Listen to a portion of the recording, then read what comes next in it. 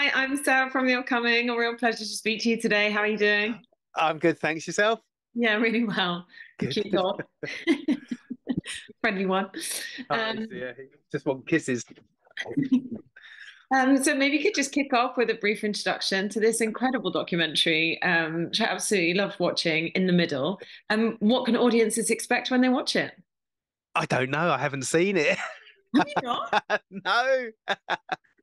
so yeah, I don't know. I, I've no, I've not seen it. Um, but everyone that's seen it says it's really, really good.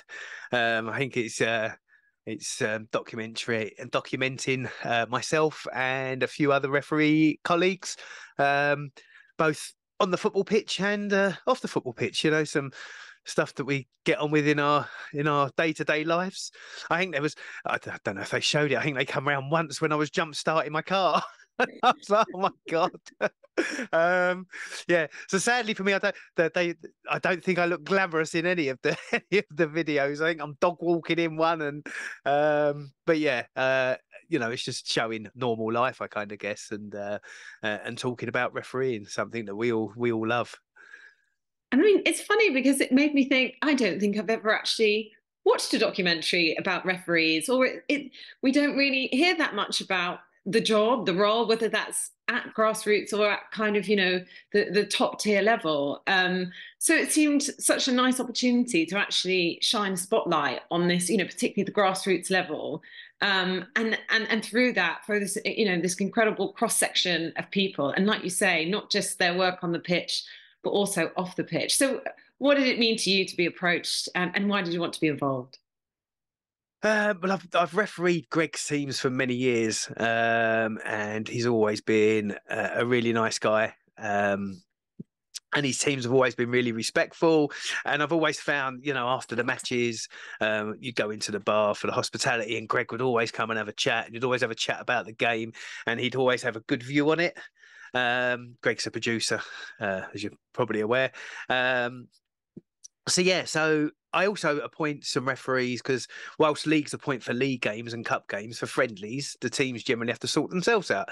Um, so Greg used to contact me and ask me to sort referees out. So we kind of built up a bit of a uh, a friendship relationship, football wise, um, via that. So yeah, Greg said that he was doing this documentary, um, and would I be interested in being involved? Um, you know, he wanted me to be involved, and I was like, well, yeah, why not? I think it's you know, it's about football. Um, anything that shows a, a good light on on football, um, and hopefully a good light and shows that transgender people can still do the things that they love. Um, I'm all for that. So yeah, I said, come on in, let's do it. And of course, through the course of the documentary, you know, we are learning so much about each each of the subjects, including you, and you know, and touching on some some difficult subjects, and you know, your journey through the sport and deciding to come out in, in 2018, then of course having health issues and so on and so forth. Mm-hmm. I mean, did you find any of that difficult or was it actually quite a nice opportunity to kind of share that and and and, and be vulnerable in that way and share your story with other people? Yeah, no, I think um I, if it can inspire one trans person to to go and be themselves and to do something they love. I think that's positive. Uh, I mean, when my story come out, uh, I've had quite a few people contacting me saying that it's inspired them to go and from a, a school teacher to a couple of football referees in, in the USA. Um, that have like said, "Oh, you know, I'm going to go and do it," and they are, and I'm out there now, and we sort of follow each other on social media, and I'm seeing them thrive uh, in being themselves. So for me, that's amazing. If if you know, just my story coming out has, has given them a little bit of inspiration in into being who they are. Um, and doing something that they love because football's a fabulous game, right? Uh, so yeah, I mean, it was obviously my story. You know, it, it, it's everyone's got their own story. Um, kind of look back now and think, well, do you know what? Having heart attacks probably wasn't a bad thing, as crazy as that sounds, because if I hadn't had the heart attacks, I probably would have made that my last season because that was the plan. Um, and I just felt cheated out of, you know, I'm missing weeks of football in what is my last season. But it gave, it also gave me the time to reflect um, that, you know, whilst I was in hospital, sort of that, you know, you get one life. Um, why should I give up something that I love that's been part of my life since I can remember? You know, I played for my first team at something like eight years old or whatever. Uh, and football, you know, saved my life because when I was younger, it allowed me to forget about everything that was going on in my head because I didn't have the internet to see. I thought I was the only person in the world. Um, so while, when you're on a football pitch or you've got a football at your feet and you're playing football or involved in any way, you kind of forget about other stuff and other bits in life. It's a great release like that. Um, so yeah, no, I, I was quite happy to uh, to to tell my story. Um, and for you know for people to to understand how I got to that decision. And I'm glad that I did. Really, to be fair. And how do you see the sport as it is today? I guess from grassroots all the way up um, to the top tier. Do you think progress has been made in terms of it being more inclusive, whether that is, you know, in terms of race and nationality or LGBTQ plus issues, or do you think it's still lagging behind? I mean, it does feel that in terms of a sector, it, it's really lagging behind in lots of ways, um, and particularly on, on these sorts of issues. And so, do you, do you still feel it's got a long way to go? And, and what do you hope to see change? Uh, so, let me answer this in sort of two parts. Um, the first part, let me talk about the women's game. Uh, where I referee currently in the third level, so the Women's National League, third and fourth level. Um, hopefully, I'm going to sort my thyroid issue out, which is making me put on weight. Which, if I can sort that out, I can hopefully then go and pass the fitness test, which I haven't taken yet, by the way. Um, and, and you know, hopefully move up some levels. Uh, but I also referee because I appoint to referees down at lower levels in the in the women's pyramid when I haven't got gamers at the higher levels. Uh, and the women's game is just so far ahead of of the men's game. I mean, um, you know, moving on to uh, I mean, it's been publicised, so it's out there now that I'm an Arsenal fan. Um, you know, so I went to, uh, I won't be riffing Arsenal again, um, but I, I, I, sort of went to um, was invited to one of the Arsenal Women's Super League games, and the reception I got was amazing, and everyone was just totally and utterly brilliant. Uh, and online, it was all positive, and you know, it was very, you know, hardly any negative. On the same day, they had somebody go to the Arsenal men's game, and they got nothing but abuse. Um, you know, online, it was awful. Uh, so, so for me, the women's game is when it comes to inclusivity, the women's game is streets ahead of the men's game. Um, however, speaking as a transgender referee, that I do referee men's football uh, at step five, so again, a, a decent level. Um, and I've even I even did a grassroots game, like a Parks game, the other uh, Sunday to help her help a friend out. I didn't have a, a, a game in the National League, and I thought, all right, I'll go and do one to see how it is and they were fabulous. They were for me personally, they were they were great. So if uh, these levels, if they can accept me, then they can accept pretty much anyone. But the problem is, is people are just so noisy. And whilst we've now got a few people uh, that have come out, um, which is amazing. Uh, you know, there's a, a lot more. I mean, I can tell you, I can tell you probably half a dozen trans referees now. Uh, there's a couple that haven't come out, but have confided to me. Um, there's, I can tell you, a dozen referees that are gay. Um, I think only one or two have come out publicly, uh, but there's a lot, lot more that are in there. So, how many footballers there are? I mean, we've got Jake Daniels, who's trailblazing uh, and leading the way, and we've got Zander uh, in Scotland again. So we we and and the the guy I forget his name now plays for Czech Republic. So people are starting to do it. It's 2023. Um, the the, the and this is not trying to force anyone to come out, but the the response that they've got has been amazing, and it should be. The, you know the the the uh, the women the the men's game should be really inclusive. Um, and can be, you know, it just needs more people to be brave and say, look, this is me. This is, you know, if it, if my private private life interests you that much, this is who I am. Uh, but I just want to play football because I love football, right? Um, because I say in the women's game, they don't have to come out because being uh, LGBT in a women's game it's not a thing. It's not a thing. You know, there there are people that that tick all that boxes, and they they're just there to play football and love the game. Um, so yeah, the, the, I think the men's game, and especially when you look online. I mean, I've set up um, Trans United. Spanish that way yet, uh, you know, because I had lots of people come to me and say, "Oh, I wish there was a football team that I could play for," and I was like, "Well, there are." Uh, oh no, I won't be accepted. So I got to the point. I've set up football teams before. I've been a player and I've been a manager, and I was like, do you know what? I'll just set one up, and then nobody can say that there isn't a football team for them. Uh, I set Trans United up 18 months ago. We played our first match. We've played matches all over the country and continue to play matches all over the country. We're in five-a-side leagues uh, that are fully inclusive, and we've made so many friends. You know, we all play the game and go down the pub after and have a drink and a chat about the game.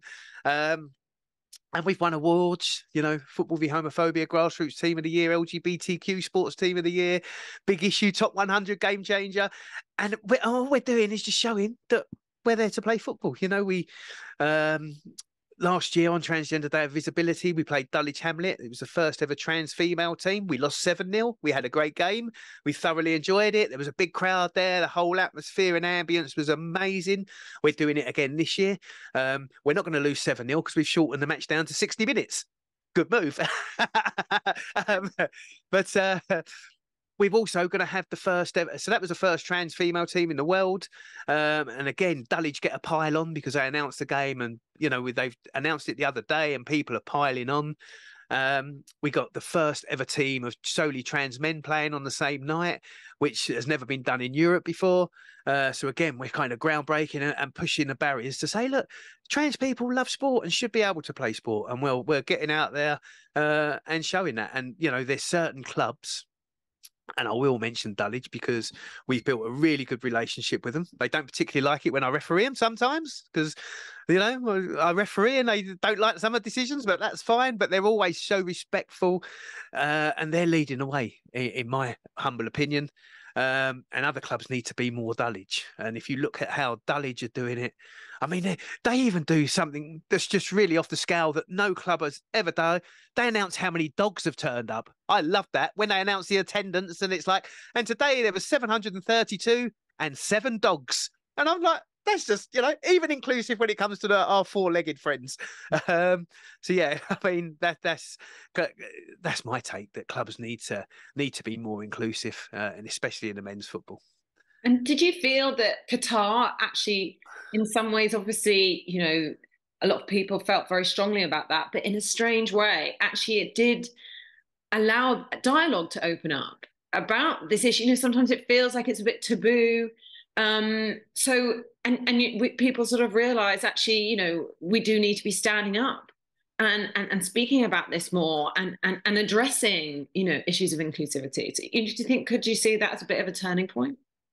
it could have been. And certain people could have just made such massive gestures and could have made such a difference. And they didn't take the chance, in my opinion. Um, and it's only an armband, but wear it, show so, no i want to wear that armband i want to show that we're inclusive we need to we need to open the dialogue properly and yeah and to not wear the armband for me i've I mean, World Cup in December was a bit weird anyway. Um, and the World Cup's always been something that you look forward to. You know, I can go back to 1978, more so 1982, and I can tell you where I was on certain days and certain matches. You know, um, yeah, I mean, after England beat Holland 4 1. We went over Colin and 20 of us, and we had a football match after going to the pub and stuff, you know. um, yeah, uh, and they're just such iconic. And, and it was, for me, uh, the fact it was in December, Qatar could have, uh, and, and, listen, I've never been to the country. I know people that have, and they say it's not as bad as has been portrayed. Um, and I'm sure it's a fabulous country, uh, but you need to have, you know, LGBT people need to be accepted around the world, and they uh, clubs countries could have made a small gesture um, by by just wearing the armband, which is a really that small gesture would have just meant so much for our whole community, and for them not to wear it because of uh, worrying about getting a yellow card was just a coward's way out. Because I know that if I'd have been playing, I'd have worn it and said, "Do you know what? Give us a yellow card," because it would have got people talking more if they'd have worn it and take, taken the yellow card, and that would have really opened up the conversations um, and made football inclusive. So I think we probably took a step back rather than a step forward, in my my opinion, when we could have probably taken a giant leap forward had these countries been brave enough and said, you know, I mean, even change captains. I know it's a big thing being captain of a country, but say, okay, well, you be captain that match, you be captain the next match, so players don't get a suspension. You know, who's the who's the least likely to get booked? You know, okay, well, you can be captain for this particular game, and they, you know, they get wiped, don't they, after the group stages anyway? So, um, yeah, they could have made made a, a massive, a massive, um, you know, uh, stance and uh, and got everyone talking positively. Instead, they decided they didn't want to take the yellow card, and they, in my opinion, took steps back instead of a giant leap forward. Hmm. And of course, you know, we're talking here about the microcosm of of football in that world, but indeed, LGBTQ plus rights seem to be taking a step back sometimes more generally. I mean.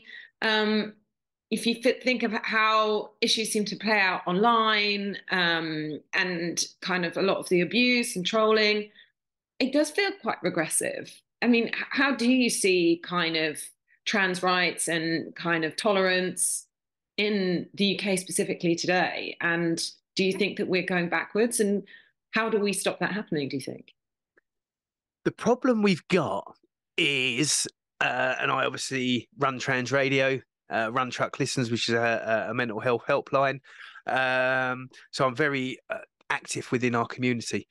But the problem we've got is that, that there's a very few, and they are literally a handful of massive um, transphobic people that just don't want trans people to be alive, uh, basically. Um, but they're such a noisy lot. You've got um, a certain person that wrote a certain set of books that's got 14 million followers that just basically hates trans people and wish we didn't exist. So much so down to we've got a certain person that's uh, the police chief for a certain police force in a certain county where I live that's a massive transphobe. Um, and, and you know, along others, you know, you've got you've got um, Posie Parker, and I'll mention her name. Um, just she's a fascist Nazi and he has Nazis standing by her side. She's all about the grift, all about making money. Latest video today, she's asking for ten thousand pounds. People are paying the money because there are. It seems to be, and I'll say it, middle-aged white women are, you know, j- j- just go and get a hobby, go and do something instead of hating on trans people because that's there's a there's a very small minority that are just hating on on, on trans people, and you go online and to be fair, the most abuse that I ever get is generally online. Mm. Um, and I'll get I'll get abuse online. I'm a referee. I'm transgender. My skin's pretty thick. So your little words with your, you know, your cat or a dog as your, your profile picture and a fake name it's bounced off me, you know, literally just bounced off me. Um, but unfortunately, it does, and I see it because it's f- friends of mine. It does really affect my friends' mental health because they're reading it and they're seeing it. And the problem is, some of these people have multiple accounts, so um, it's one of them lines. So especially Twitter. I think Twitter is is the platform for hate. Um, although YouTube do allow people like Posie Parker to spread her vile and her hate um, when she's doing her live feeds. Uh, but Twitter, Twitter's Twitter's the place. Now I'm quite, probably more active on Twitter than most most social medias, to be fair, um, because Twitter could be really really good. But the problem is, it's one of them lines. I think you need to. Um, it needs to be managed uh, and maintained properly in the way that they know who who is making up these accounts, stopping all these false accounts and false names. But I understand, especially from trans people's point of view, you know, I hid myself for many years. And for many years, I had my Lucy Facebook account, but I also had my dead person's Facebook account. uh, because I was kind of living two different lives. If you know, uh, whilst I was transitioning you know behind the scenes or or what have you not or you know we'd go away for weekends and i'm Lucy and then I'd have to come back and be the dead person. Um so that's hard because I don't want to stop anyone from having that you know that social media where they can be who they actually are especially while they're sort of going through that period um of their life. But uh but yeah i mean yeah, Twitter's just a cesspit at times, uh, and it, it's great in so many other ways. But you just look at it, and you, you know you can just go there and you just just see hate and hate, and it just seems to be hate, especially against my community, which I really don't like because, you know, most people are just really just nice people, and they just want to live their lives. So, you know, which is quite sad. Well, I think I'm out of time, sadly, but thank you so much for sharing all that with me. And I really can't wait for everyone else to see this incredible documentary. And, you know, I, I, as you said at the beginning, you know, if it inspires one person to, to, to be able to be themselves and go and like, you know, whether they want to be a player, whether they want to be a referee and, you know, and, and not be afraid to do that. That, that'd be amazing. Yeah, no, it would be totally amazing. And I look forward to seeing the film myself. Yeah. Lovely to chat to you. Thanks so much. Yeah.